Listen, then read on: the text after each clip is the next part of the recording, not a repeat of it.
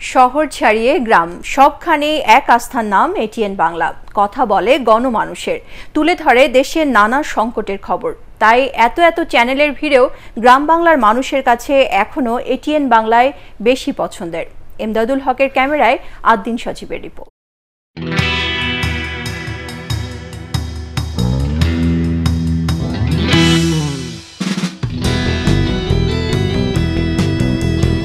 গণমাধ্যমের এক অবিরাম ছুটে চলা।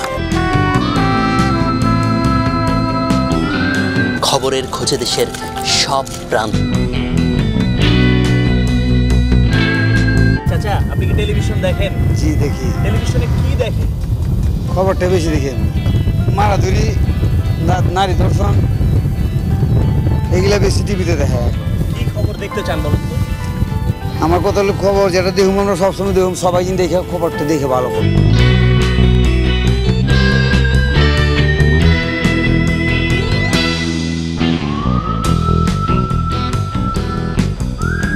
একসময়ের সাদা কালো টেলিভিশন এখন ঝকঝকে রঙে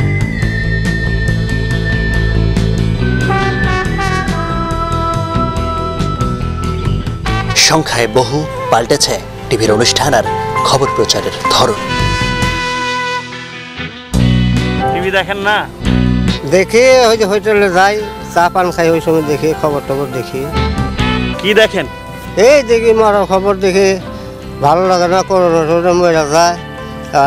মারা দেখতে ভালো লাগে না। বাংলাদেশের খবর তো যে দেশ দেশ নাই তো। নাই? দেশ চলে গেছে কবে? আচ্ছা। দেশ দেশ কিছুই নাই। কি আছে দেশে? দেশে খালি হলো দূর করে দুর্নীতি আর করোনাতে দেশ মেরে হারাইছে। আচ্ছা গ্রামের মানুষের খবর কেউ দেখে না।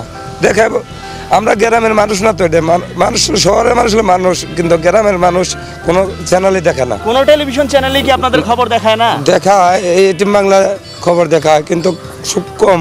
কিন্তু এর থেকে আরও ভালো খবর চাই আমরা আরও সুন্দর চাই। চাচি কোনটা বেশি দেখেন?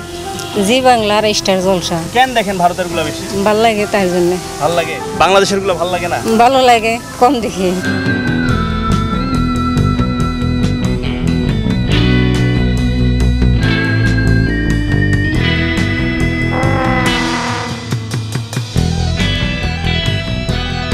চাচা হ্যাঁ। বাড়িতে টেলিভিশন আছে? আছে আছে। খুব ভালো দেখা যায় খুব সুন্দর দেখা যায়। কি দেখেন? আমরা দেখতেছি যে মানুষের রোয়া রোপণ করতেছে আমরা রোয়া রোপণ করতেছি। আর কোন টেলিভিশন চ্যানেল ভালো লাগে নাকি শুধু এটিএন বাংলাই দেখেন? এটিএন বাংলা আমি সবচেয়ে বেশি ভালো দেখি। কতদিন ধরে দেখেন? আমি বহুদিন ধরে দেখি। আমি তো পাঁচ বছর ধরে এটি খালি এটিএনই দেখি। তো এত চ্যানেল তো আর দেখা যায় না। সব সব খবর তো টাইম মতোই দেয় বাংলা ভিশন আর এই টেন খবরটা বেশি দেয়। দশক আগের কথা। সে সময় টিভি দেখতে মানুষ ছুটে যেত এক গ্রাম থেকে আরেক গ্রামে। একসাথে আনন্দ নিয়ে দেখত টেলিভিশন। আমরা আমি নিজস্বভাবে কই আমার নিজের যে এইটা মনে হয় কোনো ই দলীয় না। এই জন্য আমরা অন্য চ্যানেল বাদ দিতে এটিনটা দিই। এটিনটার খবরটা কি স্পষ্ট? বোঝা যায়। গত শতাব্দীর এক বিস্ময়কর আবিষ্কার টেলিভিশন প্রযুক্তির ক্রমবিকাশের সঙ্গে গোটা পৃথিবীটাকে হাতের মুঠোয় নিয়ে এসেছে এই যন্ত্রটি।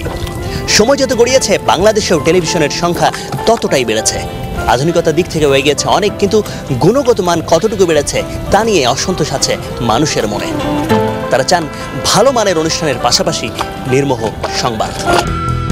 আদিন সজীব, এটিএন বাংলা, মানিকগঞ্জ।